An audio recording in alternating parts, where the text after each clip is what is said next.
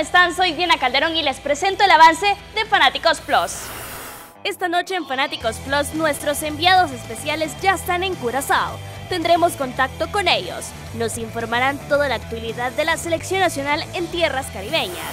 Además, en fútbol internacional se sigue hablando del culebrón de Gea. Lo analizamos en la mesa.